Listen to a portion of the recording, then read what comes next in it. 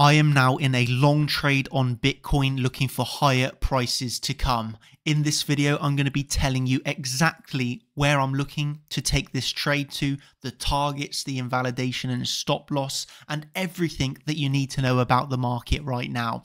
So, of course, over the past few weeks, I have been making it extremely clear, right? I am bearish. I am looking for lower prices to come. They will come on Bitcoin, you know, short and chill. That first, first major level that we had below us was that NPOC, right? 24,851. That has been our clear target that we've had to the downside as our first major level below the range low, which I was very adamant on getting taken out. Of course, we were starting to build up that triple bottom one, two, three, all that time building liquidity, and it was finally taken yesterday with that quick move to the downside through our liquidity and coming down to around the NPOC. I want to spend one minute talking you through how I took that long and now why I am still long. I have not taken profit and I'm looking for higher to come.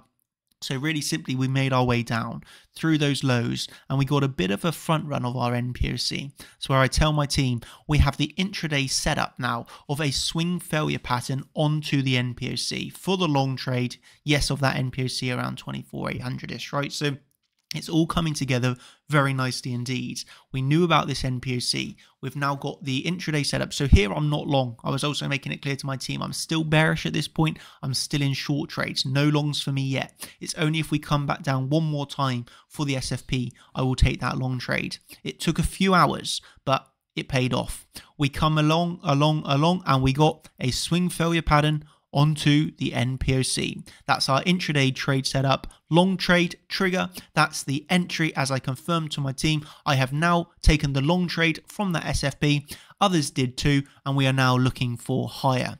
Okay, from here we have our entry, we have our stop loss, which is now below this wick, and well, we're looking for higher to come, right? Boom, took another few hours, but we got higher to come. As mentioned, I have not hit my take profit one yet. I am still looking for higher here. Does that mean I am bullish? No, it actually doesn't mean I am bullish. I am just in a long trade. I still recognize the downtrend that we are in. We haven't seen a major sign of strength yet. But for now, you know, over the past 48 hours, uh, I've just took uh, one long trade. That was the long trade taking and now I am looking for higher prices. And from there, I'll judge the reaction, right? So the next level simply above us that I'm looking at is this high. This is the high that I'm aiming for.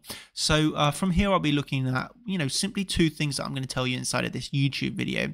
Option number one will simply be a breakout, right? Where we just break up here and we keep going upwards and upwards and upwards. Second choice is just as we done at the low, a failed auction or swing failure pattern. If we get that, well, that's where I'll look for a take profit one on my long trade and that's where I would then activate a new short trade for a little bit of that hedge trade. So for me, uh, it's you know very clear that I want to make to you in, inside of this this quick update. Okay, um, we were very bearish indeed. We had clear targets on lower, very big bearish biases for weeks. Okay, ever since we formed that first low, we were then bearish the whole time, looking to short any rally for our target. We come down, we eventually hit the target, we get the entry trigger, trigger, we take the long, well, we're sat in profits. That has not currently been realized because we haven't hit any take profit yet. For now, we're looking for higher. We're looking for continuation to the upside. Next level above us will be this high for the mini range ISFP. If we don't get that, well, that's where we can look for further continuation. As always, a level to level game. So you can, you know, be aware of those next levels that we have above us, level to level environment. But we now have had the patience from being very bearish looking for lower to hit our target, to take the long, to now lock a very nice opportunity that if we do continue to squeeze up, well, we're now in on that and able to profit from it. Okay, this has been a quick update as always. If you want to see more from myself and the rest of the team, every single day you have trading live stream updates. I've already done a live stream this morning. Uh, so yeah, if you want to watch my more in-depth update from today, well, you can get that over on the website. More importantly, you have more live streams today. You have live trading streams. Uh, you have all the content for the educational side of things. So yeah, if you want all of that, then that's what you can get via chartchampions.com. I'm going to just say that is it for me. I hope that you've really enjoyed this video. And uh, yeah, that's me signing out. Cheers, everybody. Thank you and goodbye.